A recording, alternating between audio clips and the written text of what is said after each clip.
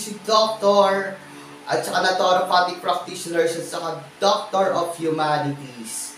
Okay? Na wala sawang magturo, no? Mag-educate sa inyo, mag-share ng konting kalaban ukol sa kalusugan at masamang karamdaman.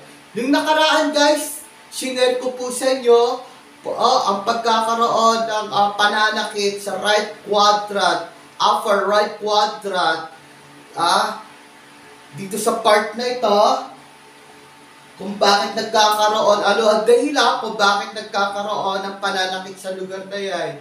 Okay? The reason why nagkakaroon ng pananakit yung lugar na yun na tinatawag namin hypochondria because of pancreatic problem at saka uh, gallbladder problem. Nilecture ko po yung gallbladder kasi uh, yung pancreas will follow na lang po yun kasi may lecture ako about diabetes. Doon nyo po malalaman kung bakit nagkakaroon ng problema yung lapay natin. Okay? Now, this time, ang isi-share ko naman po sa inyo ang pagkakaroon naman ng pain dito sa middle upper part to sa lugar na to kung bakit nagkakaroon ng araya na kung tawagin namin ay epigastric region. Okay? The reason why nagkakaroon ng problema o pananakit sa lugar na yan ay nagkakaroon po tayo ng GERD nagkakaroon po tayo ng pyrosis o kaya heartburn sensation at saka nagkakaroon po tayo ng epigastric hernia. Okay? Now, bago tayo pupunta doon sa pinaka-main topic natin guys, share ko po muna sa inyo ang human uh, ang anatomy ng esophagus natin. Okay? Mula dito sa part na ito, kunyari ito yung ilong, no? Hanggang dito sa part na to, bago sa makarating ng stomach, ah, ito po yung tinatawag na tube ng esophagus. The other part, ito po yung pharynx. Po, pagdating dito sa lugar na ito, may tinatawag na upper sphincter ng esophagus. At mula dun sa upper sphincter esophagus na ito, pababa, bago papasok sa stomach, may tinatawag naman pong isang sphincter. Yun yung tinatawag na lower sphincter esophagus. No? Kapag nagsaswallow tayo, guys, atong esophagus na to, relax po siya. No? Relax lang po siya. Now, kapag nakapasok na po yung foods dito, at dandahan po siya magsara, nagsara siya ng maigi, para po yung, yung, yung gastric acid side natin, hindi po aakyat. Okay? Yung esophagus natin guys, o yung tube natin ng esophagus guys, may apat na layer po yan. Yung first layer niyan, yung adventitia serosa. Yun po yung pinaka-layer, parang ganito. Okay? Yung pangalawa, muscular layer. Pangatlo, submucosa. Yung pinaka-lining ng uh, tube ng uh, ng ng esophagus natin guys may tinatawag po na mucosa yung mucosa na yon direct po doon naka-attach no tumatama yung foods na kinakain natin at the same time yung mucosa na yan siya po ang dahilan para maprotektahan yung wall na yan para maprotektahan hindi magkakaroon ng friction sa tuwing papasok at dadaan yung uh, foods na kinakain natin. Again, uh, sa mga lecture ko noong mga nakaraan, kapag sinabing mucosa, barriers po yan. A single piece of tissue na nandyan po yan sa, uh, sa loob ng katawan natin, sa mga tubes, sa mga digestive system, urinary uh, system, ano, lahat, no?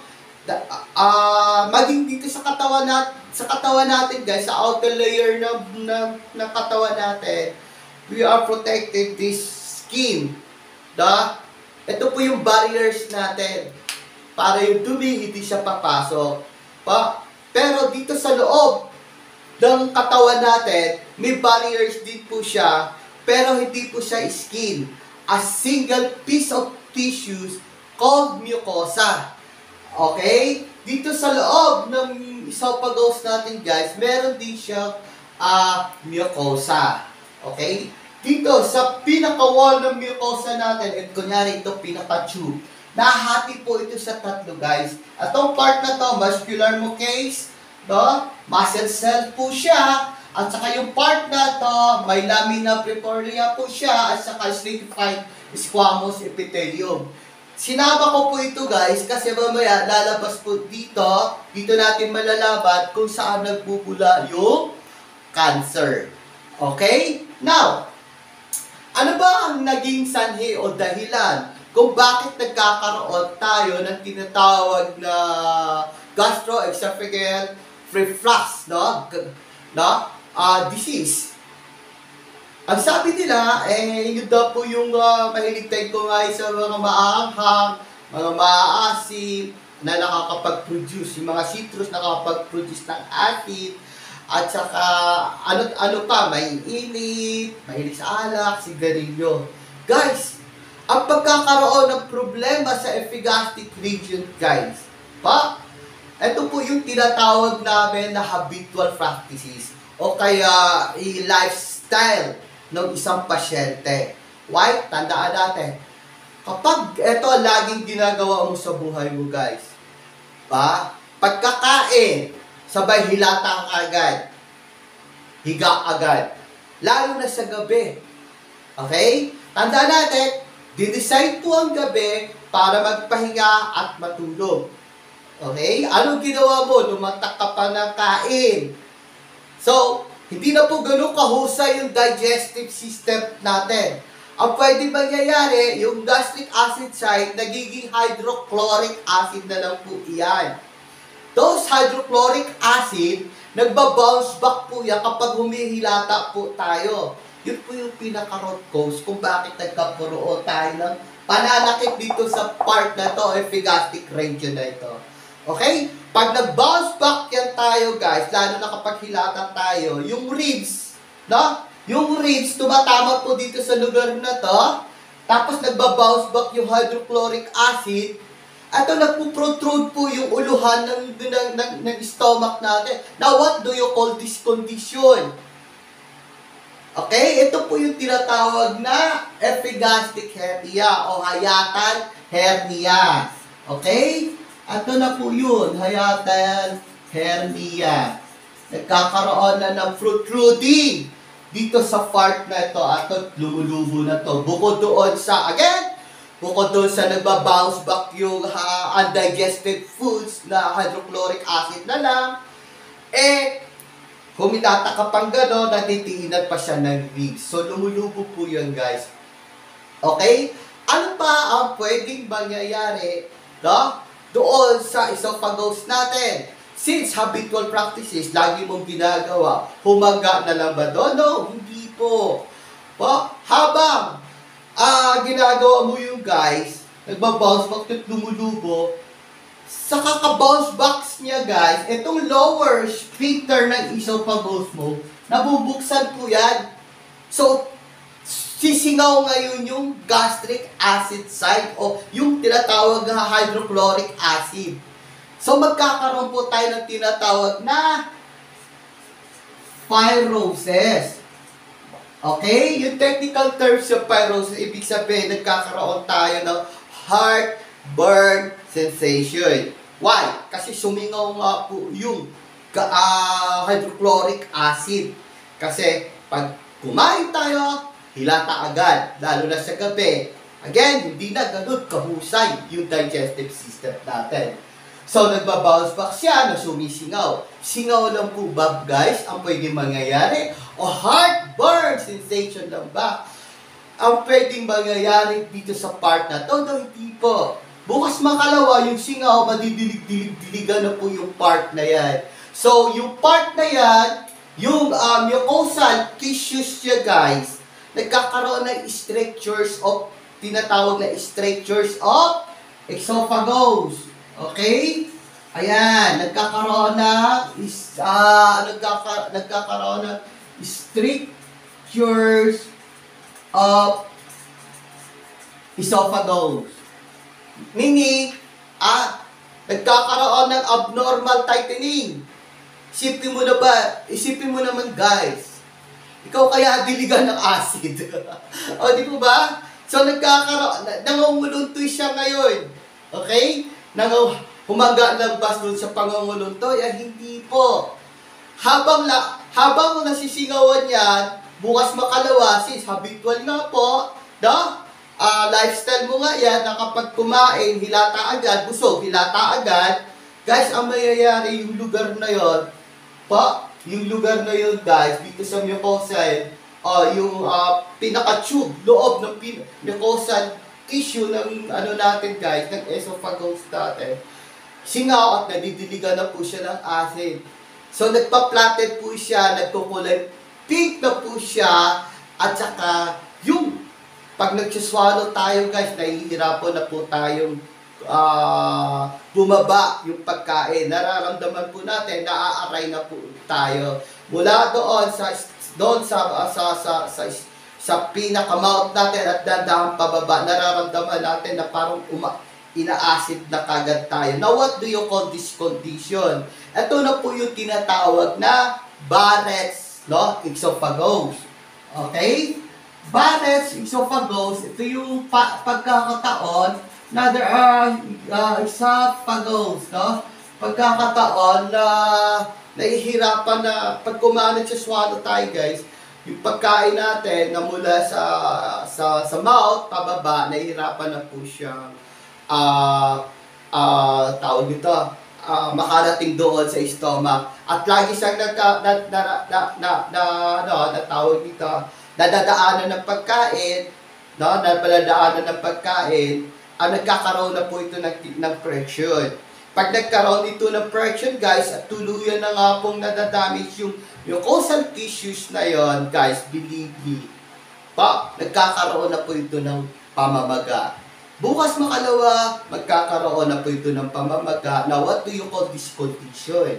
Kapag sinabing inflammation, ha, ito po yung itis. So, ito na yung panahon na magkakaroon tayo ng tinatawag na esophagitis.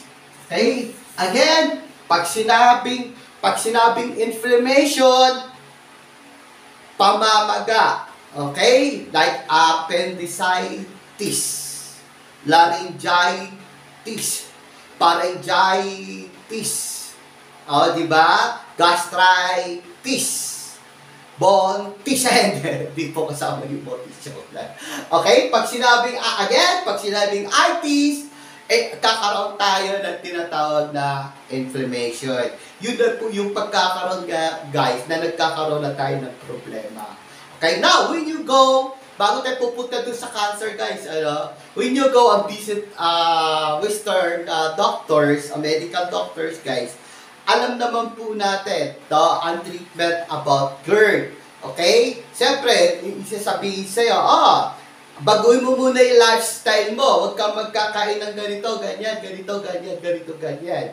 Okay? At the same time, bibigyan po sila, re-resetahan po tayo ng antacid. Ano po ba yung antacid? Doc, ito po yung nini-neutralize nyo yung acid na nag-manifest, no? Nag-manifest sa, sa, sa, di- sa digestive system mo at saka sa respiratory tract natin. Ano pa? Ano pa pwedeng ibigay sa atin ng ating mga medical doctors kapag tayo nagpa-check up sa kanila, kapag nagkaroon na ng inflammation, o nagkaroon na tayo ng GERD, o nagkaroon na tayo ng heartburn sensation, o, tinata o tinatawag na pyrosis. At bibigyan pa rin tayo ng guys na tinatawag na proton pump ah, inhibitors guys. Okay, yung proton pump inhibitors guys, yun po yung uh, omeprazole, patropazole, omeprazole, no, lansoprazole, no, isomeprazole. Lahat ng prazole, no, yun po yung ibibigay sa atin. Ano po ang nagiging trabaho doon? Yung, yung mga sol-sol na yan, guys, kapag inabsorb ng bloodstream yan, ah, pag bit-bit na ng dugo yan, dadalhin yung sa, sa cells, bubulungan niya yung cells. Oy, cells, dadaan ka mag, ah, control mo na paglabas ng acid mo. Kasi, ay may problema na yung ah, stomach natin o kaya yung respi- ay, respiratory tract natin. Guys, yun po ang trabaho doon. Kaya lang ang problema, guys. Ha? Nagkakaroon siya ng mechanism, ah, problema doon sa action ng mechanism sa loob ng digestive system natin. Okay? Tandaan natin, itong digestive system natin, guys. Okay? Naglalabas po siya ng enzyme called pepsin. Those enzymes called pepsin, siya po yung ah, may kakayahan at tumutulong po na pag may dumating na pagkain o foods na dumarating sa stomach, guys, siya po yung tumutulong para magkaroon, ah ma-divert to energy, nutrients, etc., etc., yung kinakain natin. Pero guys, because of those chemical substance and na pinasok natin, talaga po yung omeprazole, mga son na yan, guys. Okay? Nagkakaroon po ito ng uh, naiinhibit po. Nagkakaroon ng problema at wala nang kakayahan yung stomach natin na, na maglabas ng enzyme called pepsin. Ano pa? Ano pa pwedeng mangyari, guys? Ha? Ah, proton pump inhibitor lang ba ang binibigay? Meron pa pong piniprescribe sa atin yung mga medical uh, practitioners na kagaya ng mga nalalaman. Yung nga po yung hista, histamine, no? Ring receptors, blockers po siya guys. Yung mga may tinatawag ni nisatidine, no? Ranitidine, no? Simitidine, at saka pamotidine. Ang problema, okay naman po sana. Kasi, ah tawag to, binablock niya yung pagtaas ng acid. Tapos yung antacid, kinuko neutralize niya yung acid. Tapos yung, ah yung mga salt kanina ang ginagawa ng trabaho niya, binubulungan niya yung cells na dandahan na paglabas ng acid kasi eh, may problema na yung stomach at saka yung uh, respiratory tract natin. Guys, okay lang po sana yun eh. Kaya lang ang problema guys, may tinatawag po itong adverse reaction o side effect. Since synthetic sila ang chemical substance. No? Eh, saan napunta ang waste product noon? Since na natural yung organs natin, like kidney, na siya ang nagpa-process ng mga iyan. At saka yung liver, yan ang i-lecture ko sa inyo guys sa sunod pagdating dito sa number 3 na to. Okay? And bago yan, no?